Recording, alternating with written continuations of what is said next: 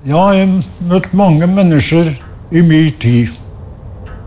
Og flere av dem påstår at de har fått hjelp. Det her er min personlige historie.